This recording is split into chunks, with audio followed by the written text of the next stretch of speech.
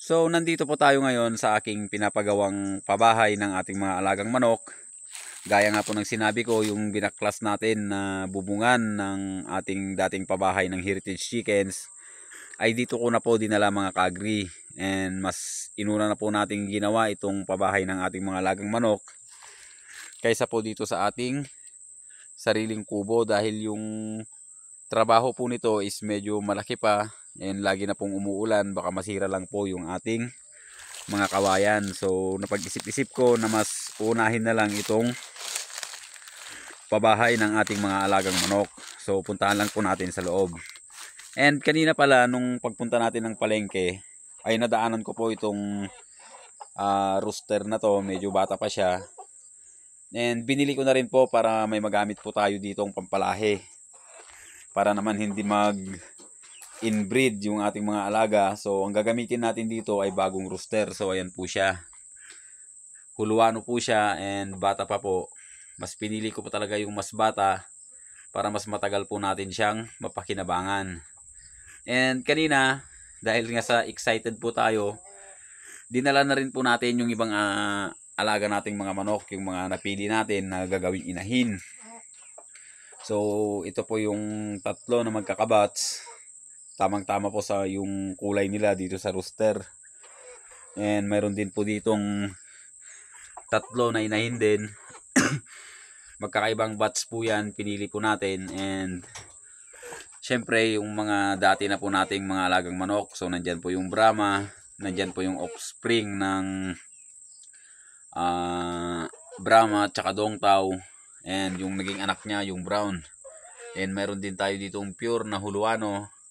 And meron din po ditong ulikba. So, ayan po yung mga dinala natin. Actually, mga kagri ay meron pang ah ilang piraso na dadalhin natin dito yung mga inahin. Puro inahin po yung dadalhin natin dito mga kaagri and ito nga po yung gagamitin nating rooster. So ayun, bali mag-umpisa na po tayong magparami ng ating mga alagang manok dito and baka sa mga susunod na araw or buwan is dadalhin na rin natin dito yung mga anak ng uh, Muscovy ducks natin. So yung anak lang po muna yung dadalhin natin dito dahil yung iba is nangingitlog pa po kasi yung mga malalaki at may naglilimlim. So kahit papano ay paunti-unti na po nating ah, nagagawa yung gusto nating gawin dito sa ating area. And nag-uumpisa na rin po tayong maglinis-linis. Kung makikita nyo po ay marami pong kahoy na naputol nung nakarang linggo. So nililinis pa natin yung kanyang mga sanga para gamitin naman natin na panggatong kahit dito po. So tataniman po natin ng mga gulay-gulay yan at prutas mga kaagri. And unti-unti tayong magpapatayo ng iba't ibang structure dito para sa ating mga alagang native na baboy and kambing at tupa. So dadalhin na lang natin lahat dito mga kaagri dahil maluwag naman tong area natin dito. So i-improve natin tong ano, itong sariling ah, nabili namin para naman mapakinabangan yung lupa mga kaagri. So binili natin to kaya gawin nating ano productive itong area kaysa naman nakatiwangwang lang diyan mga kaagri. So unti-unti na lang nating i-improve. So ayun, nagagandaan talaga ako sa rooster na to. And mga ilang araw lang siguro mga kaagri ay papakawalan na natin sila dito para naman maka ah, hanap sila ng ibang pagkain nila diyan sa labas. And ang bago ang babaguhin siguro natin or ang gagawin natin dito sa area mga kaagri ay hindi na po tayo masyadong mag-ano sa feeds. Babayaan na lang po natin silang naka free range talaga. So yun po yung anuin natin dito. Pag may lumabas na sisiw, ganun din po ang gagawin natin. Hindi na po tayo magkukulong ng napakatagal. Kumbaga papalakasin lang natin yung sisiw kahit mga 1 week or 2 weeks.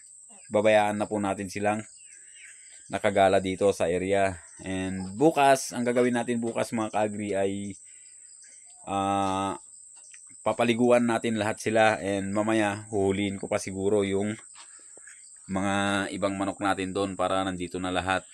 Actually, hindi pala lahat dadalhin natin dito. Yun lang mga napili nating mga gagawing breeders ang dadalhin natin dito mga kaagri. So yung matitira ay doon na lang siguro sa dating area dahil nandun pa naman yung pabahay ng manok. So doon paparamihin pa rin natin sila mga kagri. Pero ang dinala ko talaga dito is yung talagang alam kong magaganda. Pinili ko talaga mga kagri. So abangan nyo po mga kagri yung pagpaparami natin dito ng ating mga alaga.